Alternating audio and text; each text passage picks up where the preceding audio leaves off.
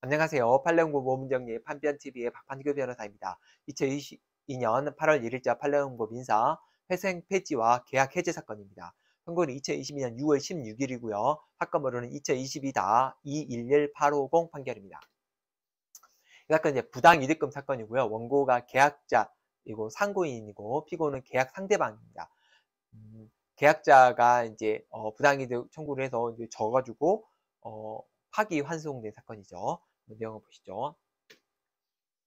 이 채, 채무자 회사가 2019년 3월 18일 날 회생 절차 개시 결정을 받게 됩니다. 이제 회생 결정은 이제 2019년에 받았죠. 그리고 나서 이 관리인이 회생법원에 이 사건 계약을 해제 허가를 받습니다. 이제 채무자 회사가 이제 망해 한국으로 망한 회사죠. 망해버린 이 회사가 그러니까 회생 절차가 들어간 거죠. 회생 절차가 들어간 이 회사가 계약을 체결을 했는데 이 계약을 이제 해제하는 게 되는 겁니다. 그런데 이 계약의 해제가 당사자가 이 채무자 회사만 있었던 게 아니에요. 회생 회사만 있었던 게 아니에요. 원고도 있었고 피고도 있었다는 거죠. 그러니까 피고는 상대방이었고 원고와 와, 그다음에 그 채무자 회사가 계약자, 계약자로서의 지위를 갖고 있었고 상대방이 또 있었던 거죠. 이 관리인이 그래서 이 계약 해제 허가를 회생물을 받아가지고 이 관리인의 소송 대리인이 이 사건 소장과 준비서류로 계약 해제를 주장을 했습니다. 그러니까 이제 관리인이 어, 나 계약 해제할 거야. 그리고 너 계약금 내놔. 뭐 이렇게 이제 뭐 소송을 했겠죠. 그래서 관리인의 소송 대리인이 2회 준비 서면으로 종전 청구인을 철회합니다.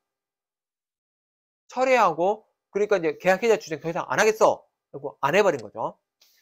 그리고 나서 채무자 회사가 2020년 3월 11일 날 회생 절차가 폐지 결정이 이루어집니다. 어, 그 회생이 안 들어가게 되는 거예요. 그래서 그냥 회생이 종료가 됐어요. 그러니까 원고가 항소심에서 이 사건 계약 해제 해지를 주장하게 됩니다.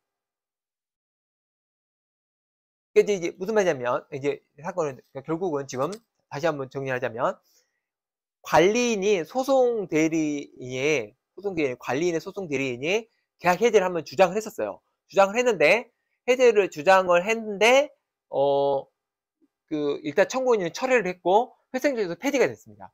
그런 상태에서 다시 원고가 이 사건 계약은 끝났다 이미 끝났다 주장을 하니까 이제 피고는 어 무슨 말이냐 철회도 했고 회생제도 폐지됐기 때문에 계약 해제된 거 아니다 이렇게 주장을 한 거죠. 결국 이런 겁니다. 회생 절차 인가 이전에 인가 이전에 회생자 폐지가 이제 됐어요.